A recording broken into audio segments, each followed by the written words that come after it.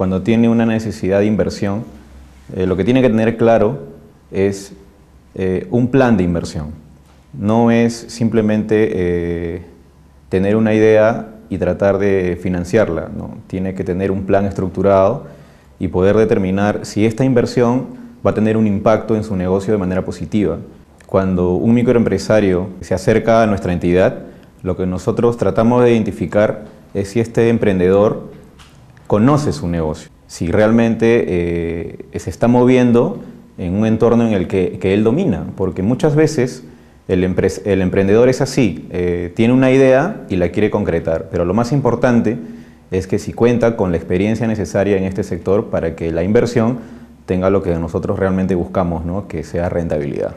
Generalmente la persona que tiene un negocio eh, suele acercarse a nuestra entidad cuando estamos próximos a una campaña y a veces es el periodo es tardío. ¿no? Entonces, cuando me refería yo a manejar un plan de ventas, era que la persona que conoce su negocio tiene que hacer un simple y sencillo plan de ventas semestral o quizás anual, ¿no? en el mejor de los casos. Lo ideal es un flujo de caja, ¿no? pero quizás hablar de flujo de caja en el sector en el que nosotros nos desempeñamos con con personas que son em, básicamente emprendedores, el término de repente les suena un poco eh, desconocido. Entonces, básicamente el flujo de caja es eh, proyectar mis ventas futuras, mis costos futuros y determinar en ese periodo de tiempo en qué momento yo voy a tener una alta demanda y por lo tanto, cuándo debo de pedir el crédito. En la medida de que usted trabaje con pocas entidades financieras, la, posibilidad de que acceda a créditos adicionales es mayor. Eh, a veces tenemos invitaciones de instituciones financieras X eh, que a sola firma ya le están ofreciendo a usted un préstamo de 3.000, 5.000 o 10.000 soles. ¿no? Y muchas veces es simplemente por ver su comportamiento de pago, pero no hay un análisis real del, entorno económico del, del microempresario. Y si el microempresario no determina realmente su capacidad de pago y se ilusiona por el monto a recibir, puede caer en sobreendeudamiento. Las instituciones financieras se han vuelto muy flexibles en cuanto a documentación. ¿no? Hay algunas eh, instituciones que le solicitan solamente el DNI y un recibo de servicios. Hay otras instituciones que le pueden solicitar algunos documentos adicionales. Sin embargo, en Edificar tenemos eh, segmentados los documentos que nos va a presentar el microempresario en función al tamaño del préstamo y en función al tamaño del negocio también. ¿no? Es mucho más fácil para un microempresario acceder a créditos promedios, que hablamos de 3.500 soles en promedio, eh, basta con su DNI y su recibo de luz. En la medida que este monto crezca, eh, se va a requerir necesariamente documentación adicional. ¿no? Eh, no es un requisito para nosotros que el microempresario cuente con RUP. Sin embargo, para el microempresario es importante demostrar formalidad si él aspira a crecer y desarrollar en su negocio, porque cada vez que él va a necesitar un crédito más grande, se va a solicitar de repente que el microempresario también vaya formalizándose en esa situación. Respecto a documentaciones, nosotros le podemos dar crédito eh, sin tener casa propia, inclusive basta con que lleve al analista a su domicilio y por referencias sepamos de que la vivienda es propiedad del señor. Eso se da por lo menos hasta aproximadamente valores de mil soles. Basta con eso, con un recibo de servicios. Sin embargo, en la medida que estos préstamos van incrementándose, ya se hace necesario un documento más formal que acredite la propiedad, ¿no? que podría ser un autovalúo, podría ser un contrato de compra-venta, una constancia de posesión, que es muy, muy conocido en los conos. ¿no? Entonces, estos documentos, aunque legalmente no acreditan una propiedad, nosotros le damos valor. El analista de crédito, digamos que es el asesor del microempresario. En realidad el analista de edificar cumple ambas funciones. ¿no? Tiene la misión de captar al cliente, de asesorarlo, de darle el crédito, de hacer el seguimiento a esa cuenta e inclusive de renovarle el préstamo ¿no? para seguir con el proyecto de inversión.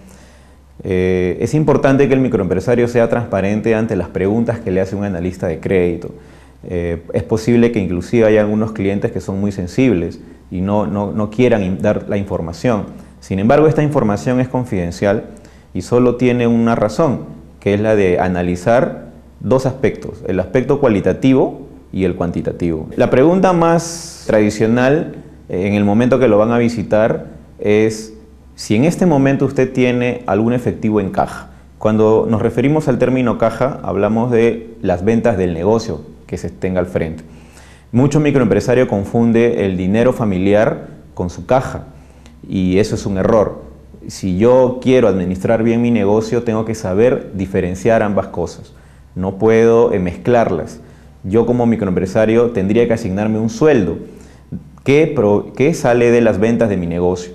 Entonces, eso es lo que va a tratar de identificar el analista de crédito, el tipo de gestión que usted tiene frente a su negocio, ¿no? en primer lugar. Luego le va a preguntar sobre niveles de ventas. Y eso es algo que todo microempresario conoce. ¿no? Usted tiene que saber cuáles son sus ventas de lunes a sábado o de lunes a domingo, qué días vende más.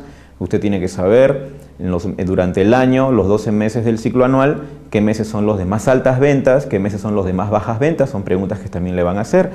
Así como también le van a hacer preguntas de aspectos cualitativos, ¿no? Número de hijos, si tiene esposa, si la esposa trabaja, eh, cuánto, este, ingresos tiene usted, si de repente tiene la bodega y a la vez eh, es un dependiente, ¿no? Porque puede ser de que usted trabaje en una empresa, pero tiene su negocito en casa que lo administra la esposa.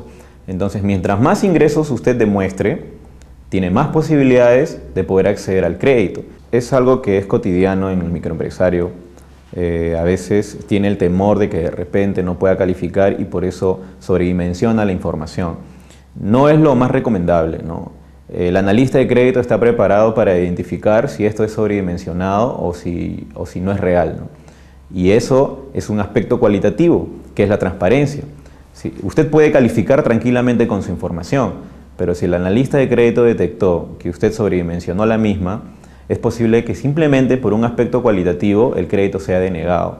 Así usted tenga niveles de venta que tranquilamente califiquen el préstamo. En el mercado tan competitivo en el que estamos, las tasas de interés en, las instituciones financieras casi tienen el mismo promedio. No hay mucha diferenciación.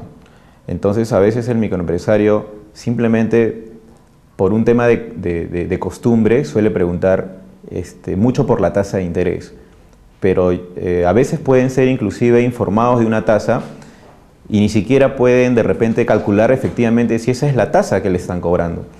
Entonces, eh, es importante que el microempresario se acostumbre a ver otros colaterales en el servicio. Las tasas de interés en realidad dejan de ser en este momento eh, una condición para el microempresario. Puede encontrar tasas muy similares en diferentes instituciones. Eso ya no es una distinción. Eh, lo que tiene que buscar el microempresario es, por ejemplo, si esta institución a mí me puede capacitar en adelante. Son colaterales que dan algunas instituciones. En Edificar recomendamos que si usted va a invertir en capital de trabajo, los plazos no excedan los 12 meses. Hablamos de un año. Si usted va a hacer una inversión que no es capital de trabajo, va a invertir en construcción, va a invertir en remodelar el local, o de repente en comprar una máquina o, algo que sea un activo para el negocio, se recomiendan plazos mayores a 12 meses, salvo que usted tenga la capacidad de pago en 12 meses y así lo quiera.